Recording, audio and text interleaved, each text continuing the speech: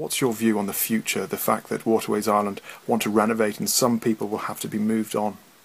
It's a pity that some people who who have been living in the one spot for so long have to be moved and there's nowhere to move them with the use to electricity etc. It would be nice if they could be fit up and what the future holds um, Waterways Ireland doing the canal up uh, is fantastic. They have been doing fantastic work around them. Don't get enough credit for it actually, dredging and uh, that but um, it would be nice if they could have liveaboard spots where people who are liveaboards want to live. Uh, Sallins and uh, Lowtown etc.